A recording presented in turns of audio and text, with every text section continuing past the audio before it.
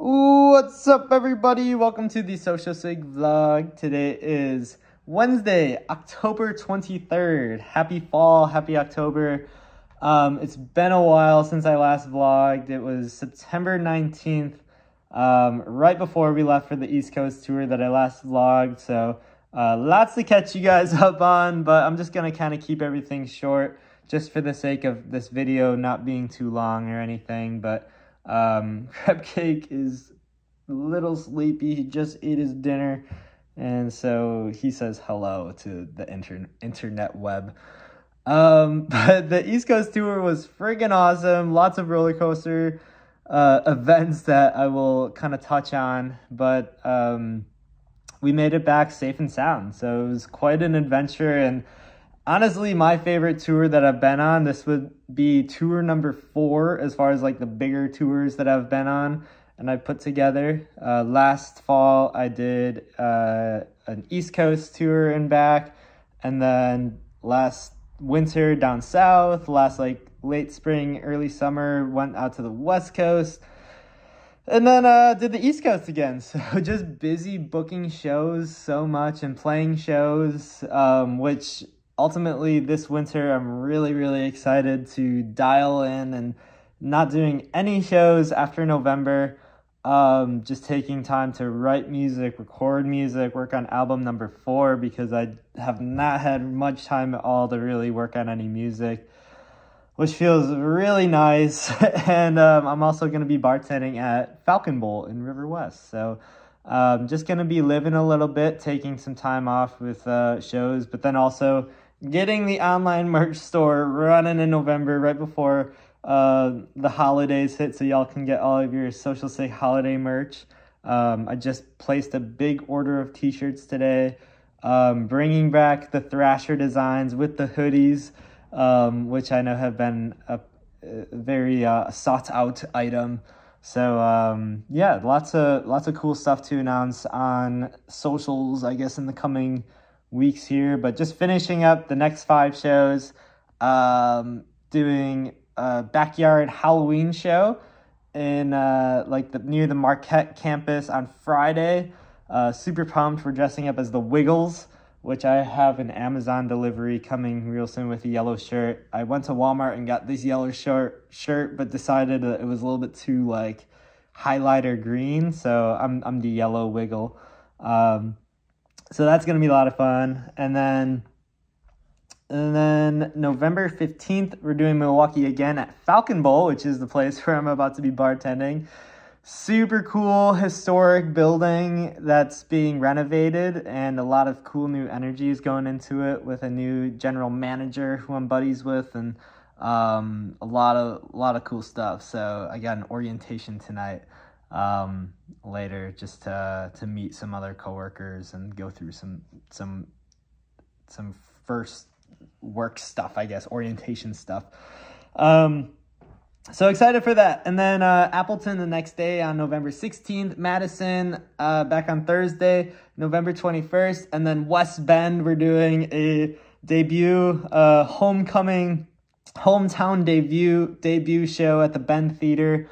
West Bend is where I grew up. It's about 40 minutes north of Milwaukee here uh, with Micah Emmerich and Dwayne, who are both Milwaukee musicians who I went to high school with. So we're all coming back to West Bend day after Thanksgiving. So if you guys are in town trying to catch all the homies home for Thanksgiving, um, it's going to be epic. Uh, we're already at 44 pre-sales for that one, but I think people are just solidifying their Thanksgiving plans, and I'm going to be sending out some text messages to some old friends. So that one's going to be a blast. And then taking my winter hiatus and going into winter hiatus, and it's going to be fun. Um, looking forward to that a lot. And then to talk about the tour, the last month of my life has been uh, quite like lots of challenges that we overcame, and I'm just super, super proud um, about Crab Cake and Sheila and myself for how we handled everything and um, it turns out like as, as like seamless as the other tours have kind of felt like having all these van issues and kind of having a lot of unknowns kind of made ha, made us have like a lot more stories to tell in the grand scheme of things. Um, and I feel like I'm gonna look back at this one and be like, whoa, that was like a really cool run. So um, we were on the road for 24 days. We left September 20th. We got back on October 14th, uh, which ironically last year we got back from the East Coast tour on October 14th, and that was the same day that we picked up crab cake from the Humane Society. So we've had Mr. Crab Cake for one full year. Very excited. Um, very excited. Uh, very uh, happy that we have him in our lives. So it's been a best year of both of our lives for sure, is what we talked about. So having this little guy around just makes everything so much brighter and more fun. So, um, yes, so we left on that Friday for a show in Fort Wayne. Um, and going into it, this tour just really crept up on Sheila and I, um, mainly me, because this is kind of my thing. But like, I need, I should have went into it having a lot more of the places we were gonna stay booked, um, like as far as hotels or just like reaching out to friends, uh, asking if we could crash and um, didn't have everything solidified. We didn't know what we were to do um, for a few dates of it. I was still trying to put together a date in Florida, maybe Atlanta, and maybe Char- Charlotte, North Carolina. And it just crept up really fast, and I didn't have those solidified, but pretty much had everything around it set in stone. And um, other than the, the housing. So, anyways, we it was a little stressful going into the road spent that Friday packing up the van and making sure we had everything. Um, and it felt like real, real good going into it, or better going into it than the West Coast one because we knew how, um, like how crab cake was gonna do on the road. So that was kind of cool, and we already kind of were used to that whole thing. And also, we were able to to not bring as much stuff as last time because we knew what we needed and what we didn't need and we had a lot more space in the van. Um, he's like falling asleep. He's so so cozy. Um, so yes, we left that Friday afternoon, like 30 minutes after leaving. We uh, had the check engine light come on on the the minivan that I just bought in May. Um, check engine light went on, so I was like, oh my god, let's just pull over and get it checked out at an AutoZone because you can just do that. And um, they have a reader at AutoZones, a little uh, tidbit fact for anybody in the future. But um, got it scanned. It was like a transmission issue. Um, I don't know much about cars at all, but the transmission seems to be a big deal and got it checked out and they said that they just gave me the reading. They didn't really give me a diagnosis or anything. And so then we were driving back to the highway um, to get back on the road and then we got T-boned by a distracted driver. We were going straight and she was turning, she was on her right side turning left and she basically just hit the back right wheel of the minivan and at that moment, I literally thought like the tour is over. There's no way like I'm gonna have to figure out like maybe renting a van.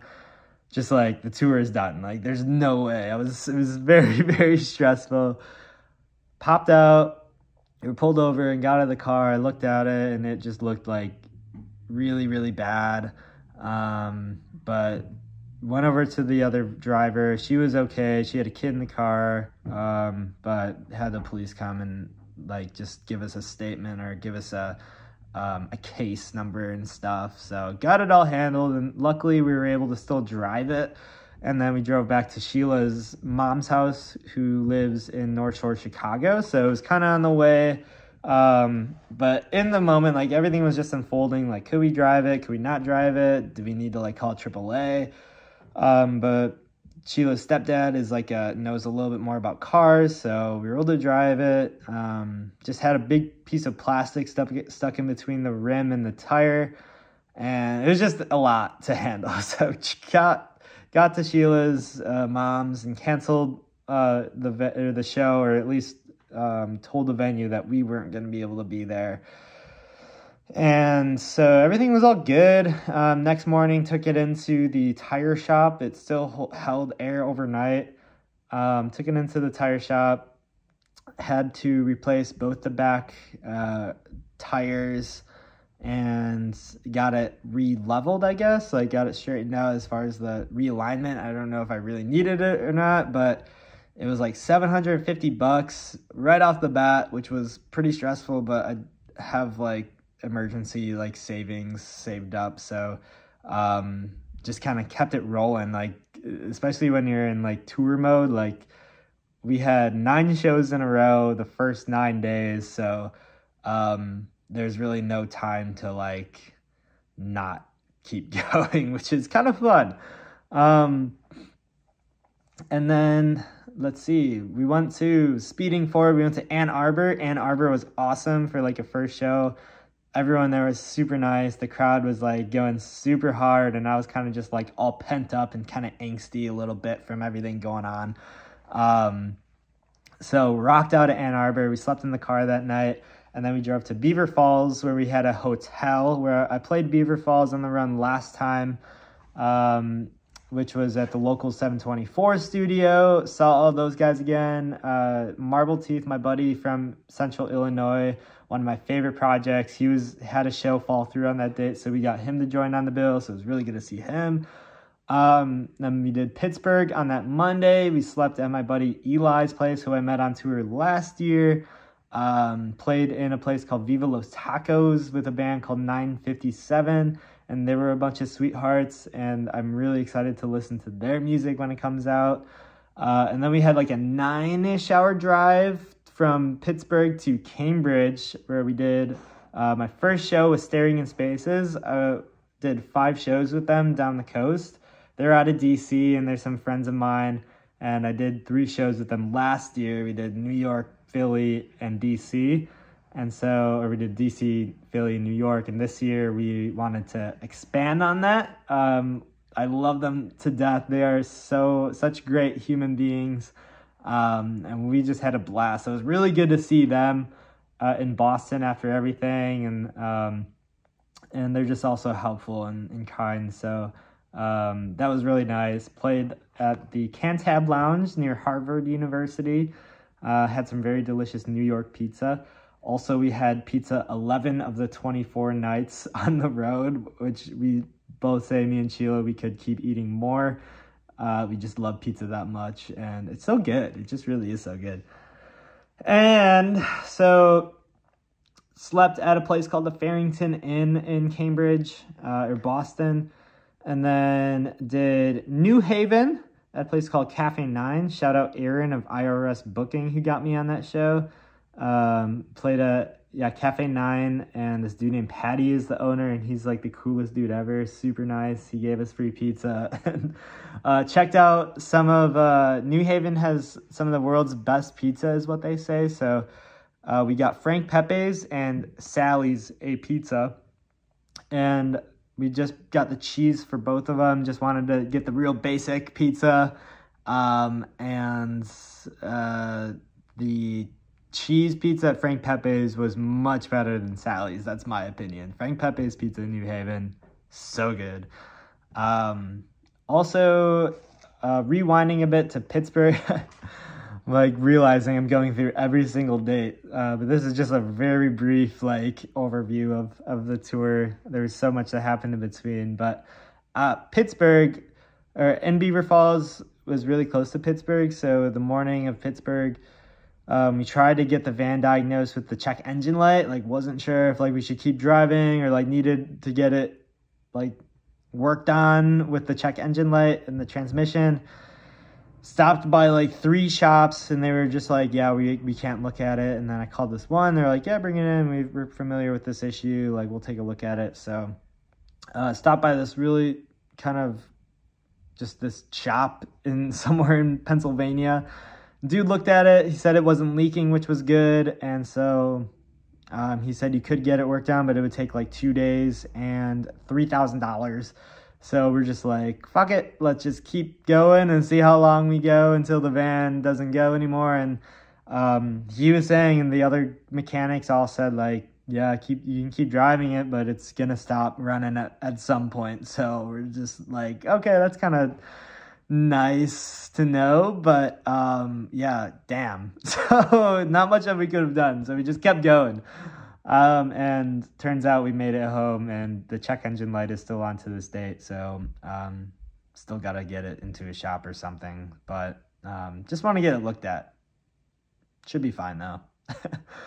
um, and it's not driving weird. It's not shifting weird. So who fucking knows, dude? Um, and I have some insurance claims going through or in insurance claims. So, um, yeah, that was just what I had to deal with around this time of tour. Um, New York, then uh, we drove to New York. On the way from New Haven to New York, we ran over something in the road, or all of a sudden, we just heard like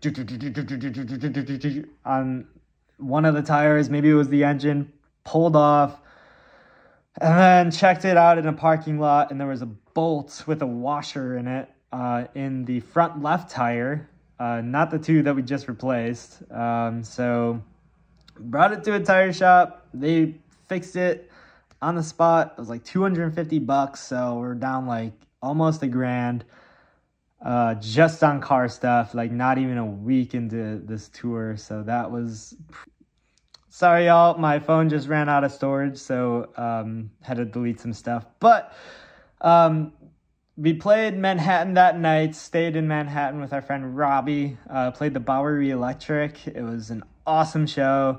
Um, probably like 150, maybe 125 people were there. It was just such a fun show.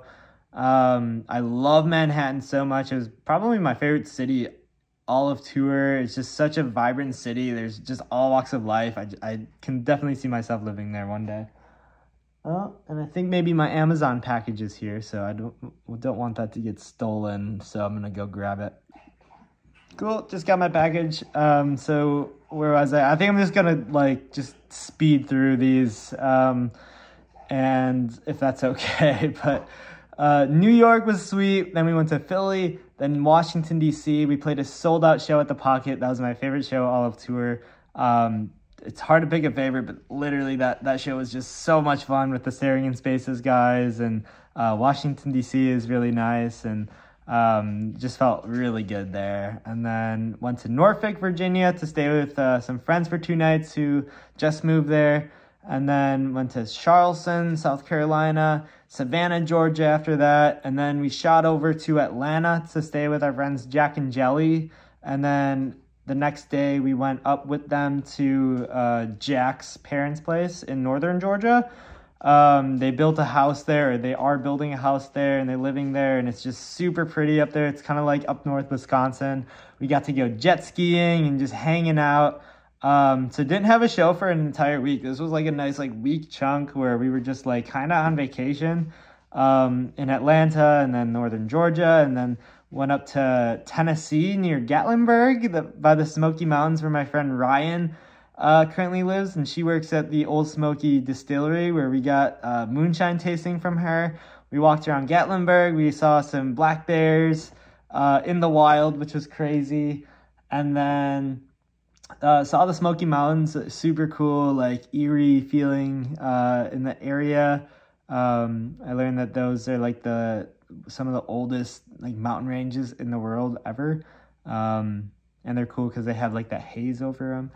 Um, and then after staying with them, we went up to Cincinnati where we stayed with my friend Time for two nights. Did a show at Sitwell's Coffee. Um, it was super good to see Time, and Cincinnati is a really cool city. Uh, and then Columbus uh, did Donato's basement. We walked around the the Ohio State University campus and um, played with some cool bands there. And then Cleveland, Ohio, did uh, the Beach Park Rock Fest with um, like 10 other bands from like the Midwest area. So it was a really cool show that Kevin of Mid Park put together. Shout out Mid Park.